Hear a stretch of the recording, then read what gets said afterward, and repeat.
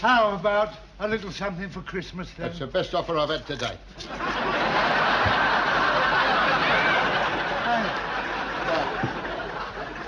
That's my only means of support. Oh, well, you won't need that one, will you?